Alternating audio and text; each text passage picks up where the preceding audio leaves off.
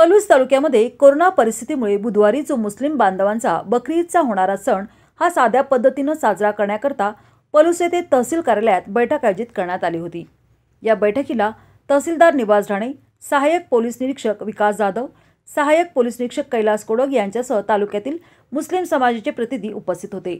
यावेळी तहसीलदार निवास ढाणे यांनी कोरोना झपाट्यानं वाढत आहे तरी बकरीद दिवशी ईदची नमाज ही गर्दी करून अदा करावयाची नाही अशा सक्त सूचना दिल्या. ईदगाण मशिदीत जाऊन बकरी ईदची नमाज अदा करावयाची नाही तर साध्या पद्धतीनं घरातच थांबून गर्दी न करता सोशल डिस्टन्सिंगचे नियम पाळूनच मुस्लिम बांधवांनी ईदची नमाज पठण करावी असे आदेश दिले. यावेळी पलूसचे सहाय्यक पोलीस निरीक्षक विकास जाधव आणि बिलोडीचे सहाय्यक पोलीस निरीक्षक कैलास कोडक यांनीही मुस्लिम बांधवांना सूचना दिल्या. यावेळी शासन नियमाप्रमाणे आम्ही बकरीद साजरी करू असे आश्वासन मुस्लिम बांधवांनी दिले. तहसीलदार आणि पोलीस प्रशासन यांनी केलेल्या आव्हानाला प्रतिसाद देत अगदी साध्या पद्धतीनं बकरीद साजरी करण्याचा निर्णय यावेळी सर्व मुस्लिम बांधवांनी घेतला. होणाऱ्या ईदनिमित्त सर्व मुस्लिम बांधवांना शुभेच्छा देण्यात आल्या. पलूस तालुक्यामध्ये सध्या कोरोनाचा प्रादुर्भाव थोड्याफार प्रमाणात कमी होताना दिसत आहे. परंतु अजूनही कोरोनाची संख्या थोडीफार वाढत आहे. त्या अनुषंगाने पलूस तालुक्यामध्ये मान्य जिल्हाधिकारी यांच्या आदेशानुसार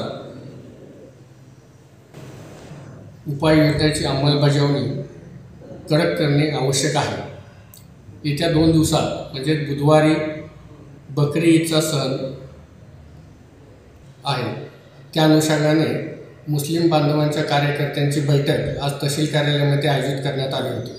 त्यामध्ये सर्व सर्वांना ज्या कोरोनाच्या अनुषंगाने ज्या उपाययोजना आहेत त्याची अंमलबजावणी करून साधेपणाने बकरी ईदचा सण साजरा करण्याच्या सूचना देण्यात आलेल्या आहेत.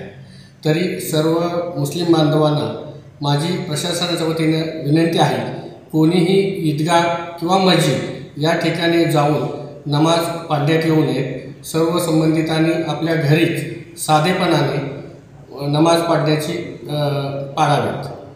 शासनाचे नियमाचे पालन करून नमाज पठण करावे. अशी प्रशासनाच्या वतीनं सर्व मुस्लिम बांधवांना विनंती आहे. तसेच सर्व मुस्लिम बांधवांना बकरी ईदच्या निमित्त सर्वांना खूप खूप हार्दिक